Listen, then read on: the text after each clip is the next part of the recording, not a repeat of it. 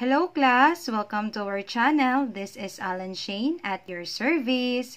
So thank you so much class for using Alan Shane's tutorial for you to be able to know more about accounting. Don't forget to like, subscribe our YouTube channel.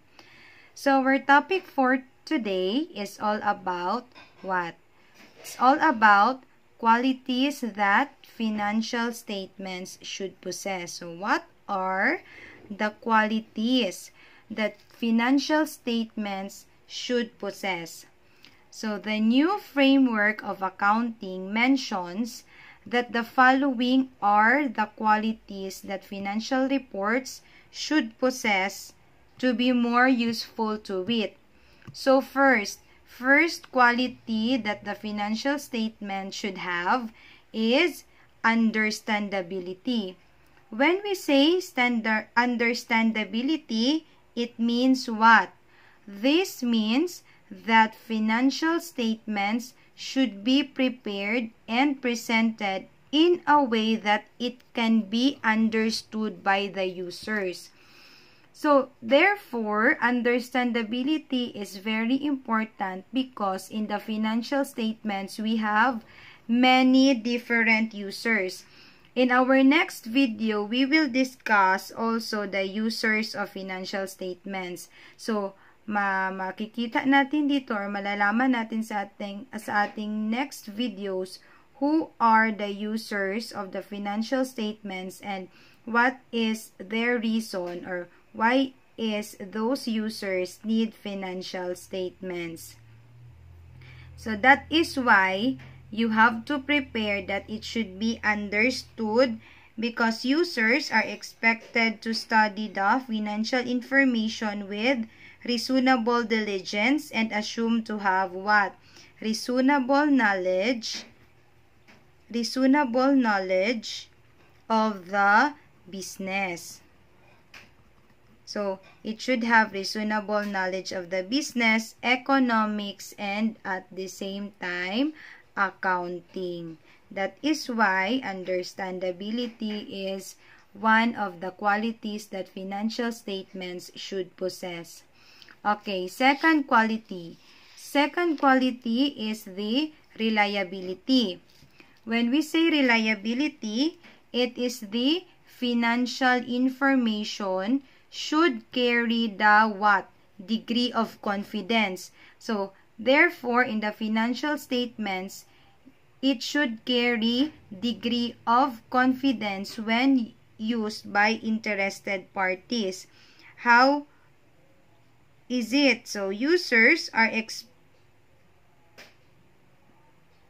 uh, uh, this means that users make informed or uh, it must be to make it reliable, it must be what?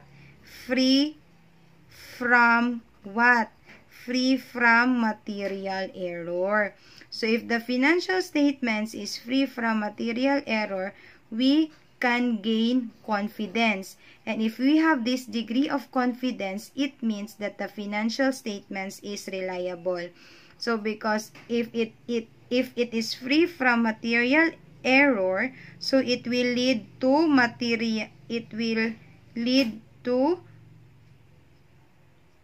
it will not lead to material misstatement. And it should be what? Fairly presented.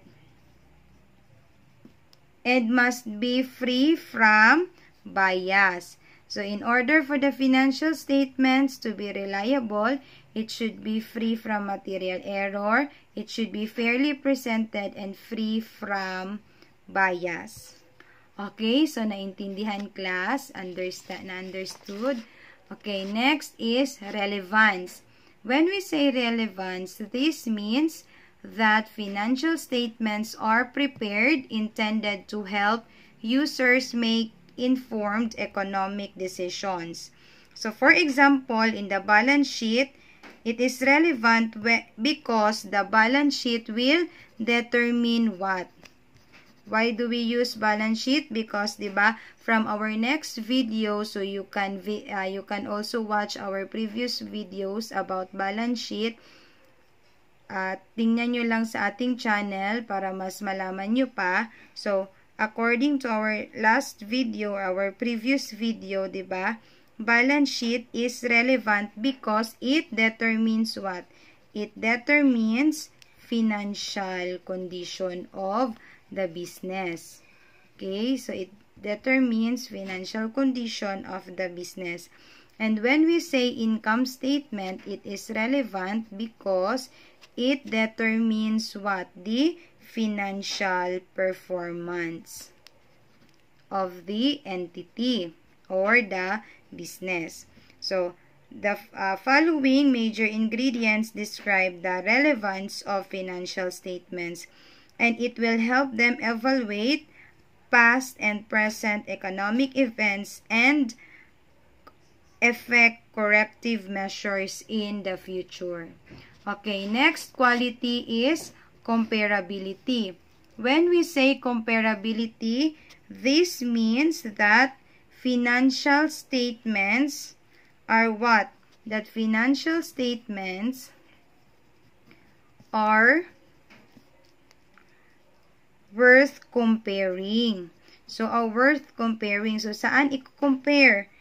With the other companies of the same line of business. So, uh, statements are worth comparing with other companies, but take note that it is of the same line of business.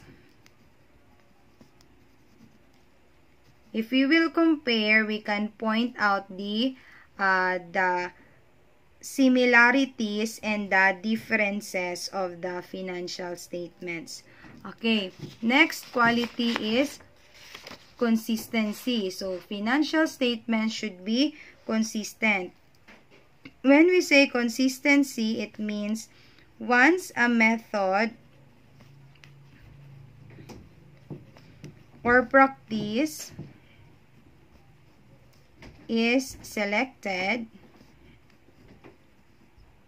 from alternatives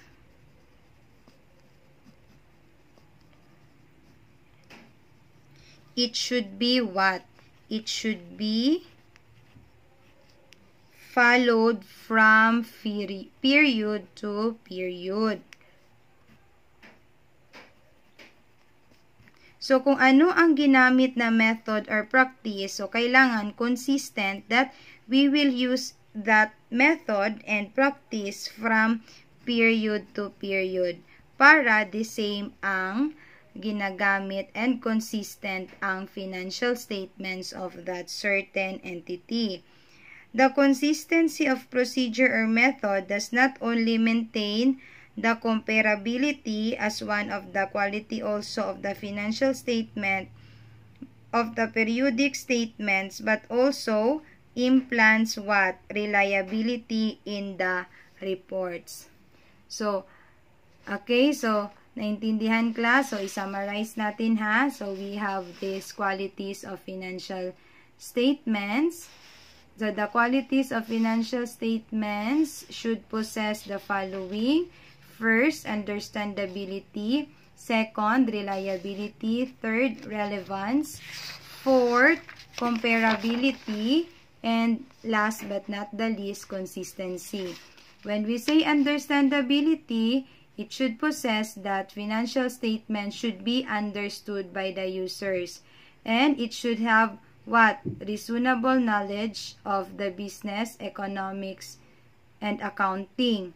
Reliability, it is should carry a degree of confidence. So, we can say that financial state statement has a degree of confidence when it has when it is free from material error, it is fairly presented, and it is free from bias. And the relevance, it means that financial statements are prepared intended to make informed economic decisions sa users. So it is it is relevance because in the balance sheet, it determines that the financial condition of the entity and in the income statement, it determines the financial performance. So, in the comparability, it, it, it means that financial statements are worth comparing with other companies of the same line of business. And in the consistency, so once a method or practice is selected, so if ano na yung mga practice at methods na na-select na, it should be followed from period to period. So that's it for our discussion for qualities that financial statements should possess. Hope you like our video and hope you learned something. So class, don't forget to subscribe our YouTube channel and please watch the other videos uploaded because marami kayong matutunan dito class. So thank you class. God bless.